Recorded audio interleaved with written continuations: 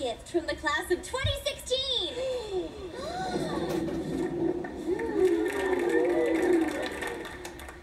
the Sipomatic Water Station will serve Ridgewood for generations. Activate the fountain with front or side push bars for clean, filtered water with minimal splash. Or fill your environmentally friendly water bottle with the sensor activated